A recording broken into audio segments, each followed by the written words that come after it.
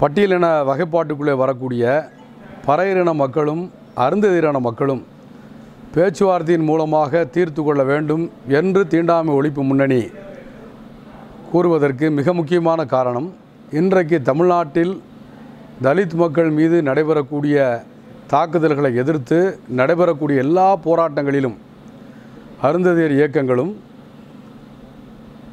விடுதலை சிறுத்தைகள் போன்ற இயக்கங்களும் மிக தீவிரமான போராட்டங்களை முன்னெடுத்து வருவதை தமிழ்நாடு தீண்டாமை ஒழிப்பு முன்னணி ஒவ்வொரு களத்திலும் ஒவ்வொரு பிரச்சனையிலும் பார்க்கிறது. இவ்வாறு இரண்டு சமூக மக்களும் அவர்கள் அங்கம் வகிக்கக்கூடிய அமைப்புகளும் பொதுவான தலித் மக்கள் மீதான பிரச்சனைகளுக்கு எதிராக களத்தில் போராடி கொண்டிருக்கூடிய அமைப்புகள் தான். இன்றைக்கு தமிழ்நாட்டில் அருந்ததியர் மக்கள் எங்கே பாதிக்கப்பட்டாலும் அதற்கு எதிரான போராட்டத்தை முன்னெடுப்பதில் விடுதலை சிறுத்தைகள் மிக முக்கியமான பங்கு பாத்திரத்தை வகித்து வருகிறது. தீவிரமான போராட்டங்களை நடத்தி வருகிறது.